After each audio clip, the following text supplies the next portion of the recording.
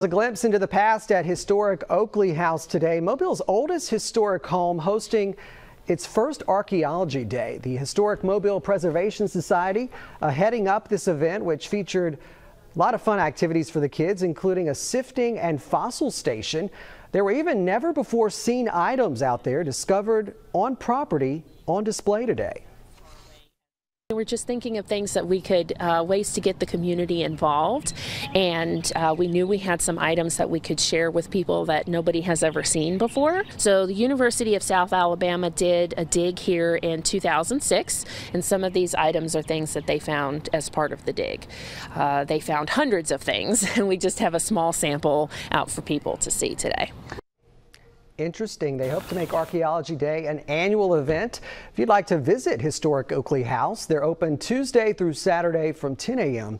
to 4 p.m.